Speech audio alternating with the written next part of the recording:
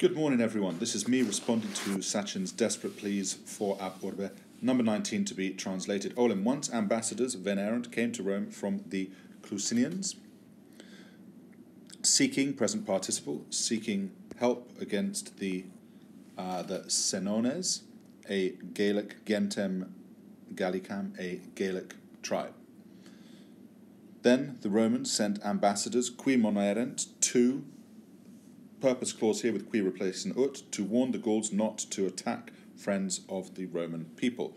However, after the fight had started, ablative absolute, let's move away, far, far, far away from with the fight having been started. However, after the fight had started, um, legati, the Roman um, ambassadors, took up arms against the Jus Gentium. I believe that our notes actually said that this would be translated as the law of nations. I've never even heard of what the law of nations is, so I suppose yeah, the law of tribes is what I was going to say. But here they want you to say the laws of na- the laws of nations took up arms against the law of nations and brought help um, to the Clusinians, and brought help to the Clusinians. Um, the Senones. Uh, that we had earlier on do not feature in that sentence. Galli, the Gauls, after they demanded from the Roman Senate that the Roman ambassadors um, be handed over after the um, uh, after the law of nations had been violated in such a way. Um, so I'll just do that sentence again with you. So there it is, um, starting off with Galli. Um, afterwards, the Gauls, so afterwards, the Gauls, bear with me here, afterwards, the Gauls demanded, Gallia, or afterwards, the Gauls demanded from the Roman Senate that, in direct command, that the Roman ambassadors be handed over because of, um, be handed over for the uh, yeah.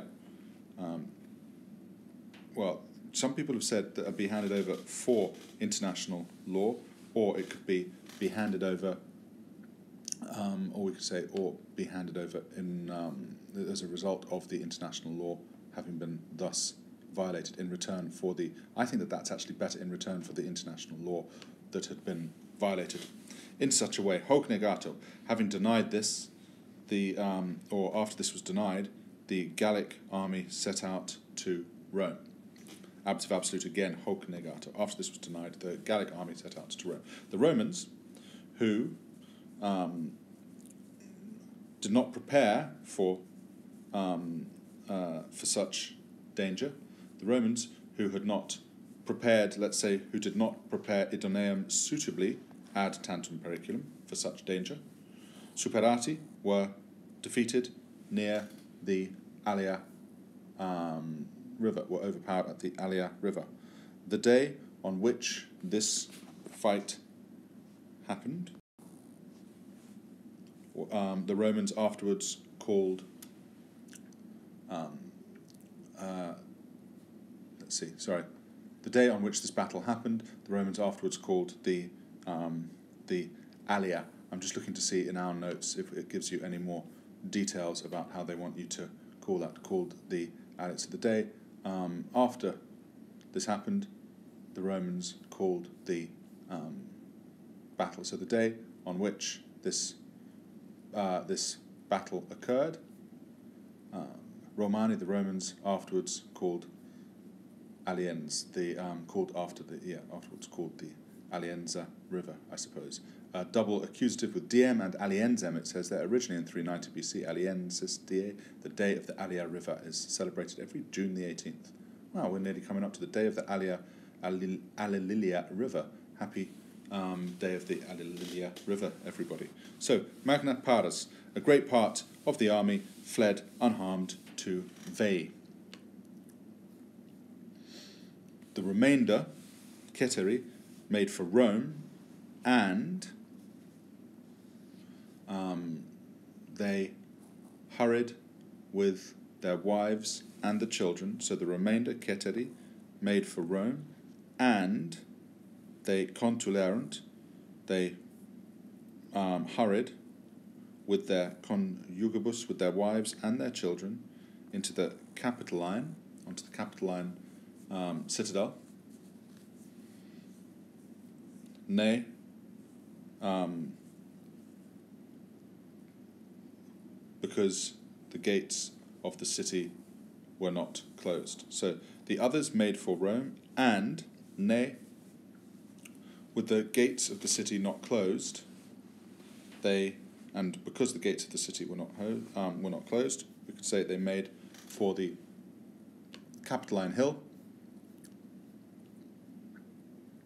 the Capitolium or the Capitolinum, they made for the Capitoline Hill. Um, the two peaks it says there of the Capitoline Hill are the Capitolium, seat of the Temple of Jupiter uh, Maximus, and they made for the Capitolium um, because the gates of the um, of the city had not been closed. Galli ingressi, the Gauls, egressi, ingressi rather, having entered the city, parcunt, spared no one, and they deripiunt, and they destroyed, and they burnt down present tenses, but remember what we said in these, we're going to make them past tenses. Um, but they destroyed and they burnt down buildings, post aliquot dies. Um, after several days, after a few days, they made an attack post aliquot dies, testuduna um, facta. They made an attack on the citadel. Um, and uh, and then I've just left out. So after a few days, they made an attack on the citadel. Again, it's got the um, Testuna. The tortoise is a close formation of troops. So um, after the tortoise had um, the tortoise formation had been made, they made an attack on the citadel, having um, of absolute, having made a tortoise shell formation. After a few days, having um, made a tortoise shell formation, they made an attack on the citadel at Romani medio fere colle. But the Romans resisted almost in the middle of the hill at the Romani, but the Romans, ferre medio, medio colle, almost in the middle of the hill, resisted, and then from a superior and inde, and from there, from a and ex logo and inde, from there, from a superior position, having made an attack impetu facto, after they'd made an attack out of absolute, they drove off the Gauls, obsidio um, inde. Then, from there, a siege was prepared by the Gauls. Pars exercitus, part of the Gallic army, part of the Gallic army, genitive there, Gallici, was sent out ad frumentum, literally for corn to be gathered, to gather corn. That's a gerundive, but it might sound better, I've suggested before, if you actually make it active. So it's a gerundive because it's a green, and I know you haven't met these yet, but it's a green with a frumentum, which um, so it's a passive verbal adjective. But rather than saying part of the Gallic army was sent out, rather than saying for corn to be gathered, we'd say to gather corn, to gather grain. Um, ex agris, from the fields of the neighbouring people. Hos fortuna ipsa.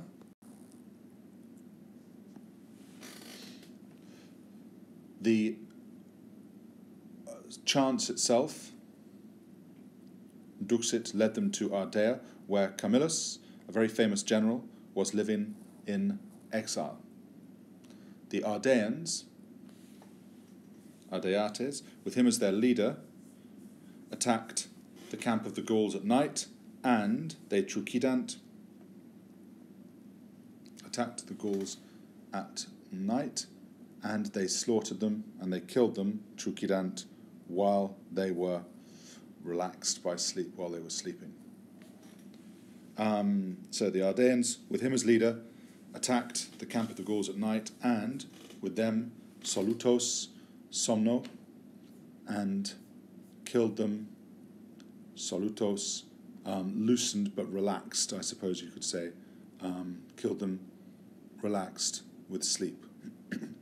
While they were asleep is fine. Veis interim. Meanwhile,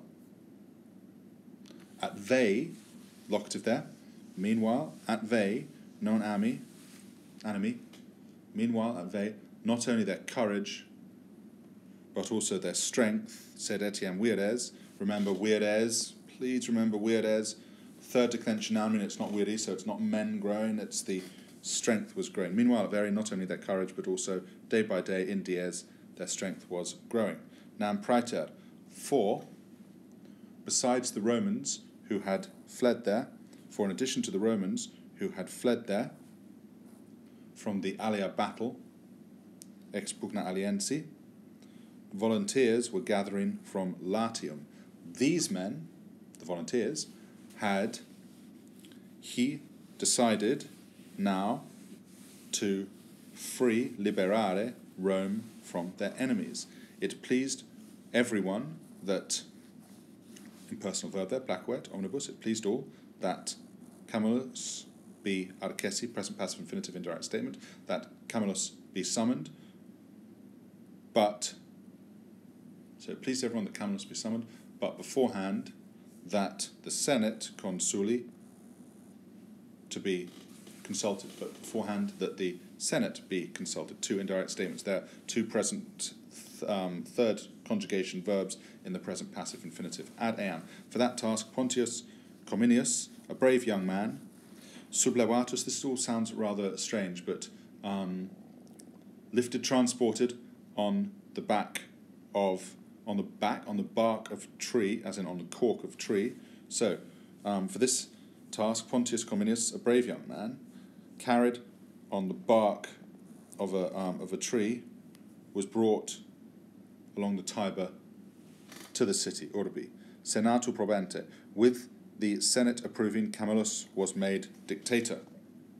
Gosh, I don't, I hope I don't run out of time with my YouTube clip. Um, meanwhile, interim, I need to be fast. Meanwhile, the citadel of Rome and the Capitoline were in great danger. Fuerunt nocte, for by night the Gauls, prae um, for by night the Gauls, with a soldier having been sent forth, that's what I said don't do. So um, after a soldier had been sent forth, qui, plus the subjunctive, to try and find a way, tanto, um, with, uh, with such great silence, um, he climbed onto the summit of the hill. So he evaserunt, he climbed or escaped onto the top of the hill with such silence that not only did um, that not only did he um, sorry did I say soldier sent out climbed onto the summit of the hill with such great silence that they not only deceived the guards Valerant it's not the guy himself it's the um, it's the Gauls but